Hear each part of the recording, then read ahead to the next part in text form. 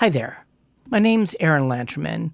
I'm a professor of electrical and computer engineering at Georgia Tech, and today I would like to talk about emitter followers. So I'm going to draw a bipolar junction transistor in its NPN form, and up here I'll draw VCC, the upper rail power supply, and over here we'll have VN, so that's going to be my input voltage. Over here, we'll measure V out and output voltage. And you're probably used to seeing a resistor here, but today I'm not going to do that because I want to talk about emitter followers with active loads. So we'll put down another NPN transistor going to ground and this is all kind of without loss of generality. If you have a different voltage down here, you could basically just shift all the voltages up or down. All right. So here I'm going to place a voltage. I'm going to call it V1. And this is going to be a constant voltage that sets a bias current. So I'm going to assume that the output here is feeding some ideal input that has infinite input impedance. Similarly, I'm assuming that Vn and V1 are being produced by ideal voltage sources that have zero output impedance. We can go back and talk about input and output impedances of this particular circuit in order to do a more detailed analysis in a bigger circuit. Because we're assuming that no current is flowing through the V out terminal, we can say that the current flowing out of the emitter of transistor 2. Oh, I should number these transistors, shouldn't I? So we'll say that this is Q2 and this is Q1. So this IE2 needs to be equal to the current flowing down here through the collector of transistor 1. So I'll call that IC1. So this is IC1. Now we know that if we have IC2, we could divide it by the parameter alpha 2 in order to get the emitter current. So, what model do I want to use for our collector currents? To talk about that, let me draw an isolated NPN transistor down here, and we'll label this as VC, and we'll label the voltage at the base VB, and we'll label the voltage at the emitter VE. So here, the collector current IC will say is capital IS, a reverse saturation current, times the exponent, the exponential function of VBE over UT. UT is usually taken to be 25 or 26 millivolts at room temperature, but it is a function of temperature. Something that will come into play later is this IS is also highly dependent on temperature. So I'm using UT instead of the usual VT because later when we look at MOSFETs, we have a VT0 representing threshold current sometimes. So using U here instead of V helps us avoid getting confused in that MOSFET scenario. And I've just gotten into the habit of using it, so I also use it for BJTs. Now, technically, there's also a minus one in here, but everyone generally ignores it because if you have enough VBE to have this exponential term matter, it swamps that minus one. One other thing I want to talk about is the Early effect.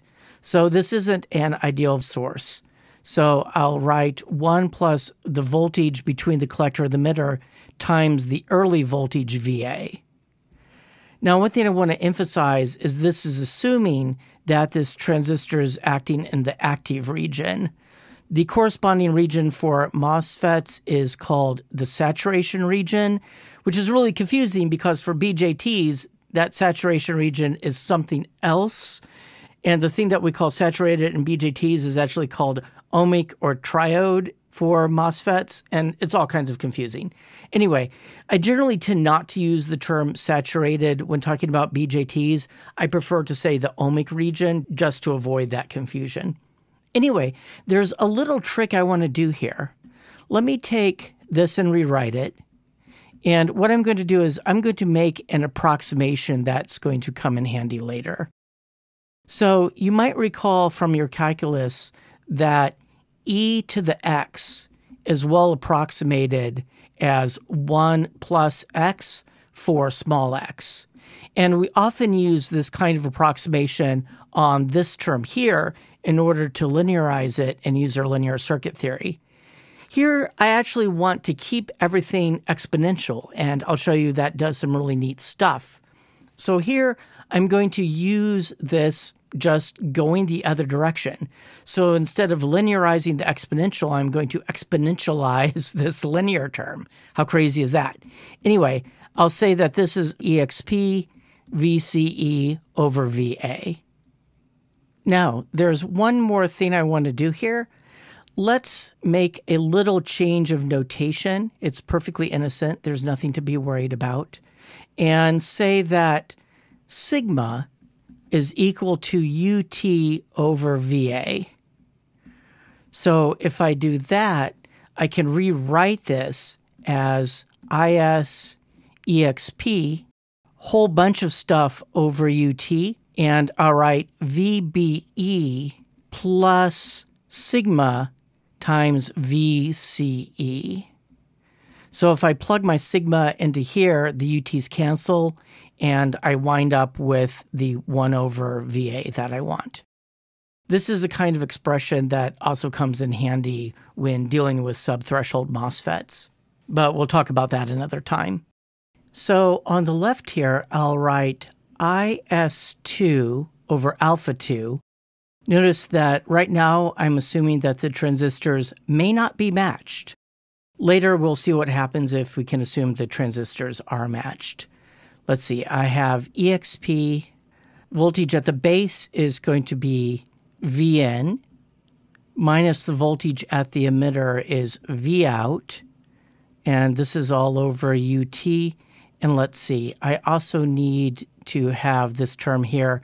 So I'll have sigma 1 VCC minus V out. So that's the collector voltage minus the emitter voltage, which is V out.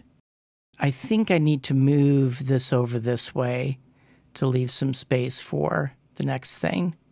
Eek. All right, I didn't plan this out well. Anyway, on the right hand side, I'm going to have IS1 EXP, and then I'll have V1, sorry, that's chopped off on the edge here, minus ground, plus sigma 2 V out, which is the collector current minus ground. Can I squeeze that in here? Oh, this looks really terrible. Sorry about that. Anyway, this is all over UT. So what I'm going to do is I'm going to take the logarithm of both sides since I have an exponential on each side. So I'll write minus log alpha 2, and I'm writing minus because it's in the denominator. But after taking the log, I'm also going to multiply everything through by ut to get rid of it. So let me put a ut here in front. And let's see, I'll also have a plus ut log is2 all over is1. So I'll assume that before I took the log, I divided by is1. And then I have this vn minus v out plus, oh wait, this shouldn't be sigma 1. This should be sigma 2. And this one over here, this should be sigma 1 if I was a more dedicated YouTube educator, I would go back and redo it starting from here, but I don't feel that dedicated. After all, how much are you paying for this? All right. So I have sigma 2 VCC minus V out. And then on the right, I'll have V1 plus sigma 1 V out. So now what I want to do is I want to get all of the terms associated with VN together and all the terms associated with V out together. So on the left, let me write Vn and then all the constants. So I'll take this V1 and move it over to the left. So I'll V1, and then I'll have minus ut log alpha 2 plus ut log is2 over is1. And then I have the plus sigma 2 VCC. And on the right, I'll have V out because I have a minus sign here that turns into a plus when I move it over here. And let me write it like this. I'll write V out times 1. That gives me this term here. And then I have a sigma 1 over on the right already. And then I'll have a sigma 2 on the right. So I could say that V out is equal to all this junk V in minus V1 minus ut log alpha 2 plus ut log is2 over is1 plus sigma 2 VCC. And this is all over 1 plus sigma 1 plus sigma 2. Okay, so that looks like a handful, but most of this is not actually that important. These looks like sixes. Let me make sure these are more like sigmas. All right. So quite often sigma is going to be a pretty small number like 0.001 something like that. So usually these are not terribly important. And let's see, usually alpha 2 is pretty close to 1. So log of 1 is 0. So this is something close to 0. So it's not terribly important. Then I have this term associated with the mismatch of the saturation currents. Now, if I assume that IS1 equals IS2, then this whole term goes away. So we could say that V out is just Vn minus V1. Now, you're probably used to seeing V1 being something like 0.65 or 0.7 if you use a resistor in the place of Q1.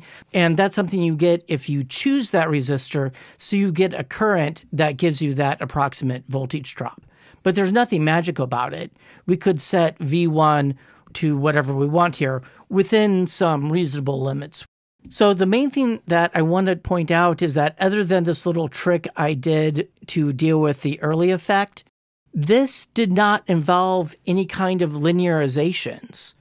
I didn't pull out any small signal models. I didn't take any derivatives. This is just true throughout the range in which Q1 remains in the active region. We should actually talk about that a little bit. So let's scroll back up here.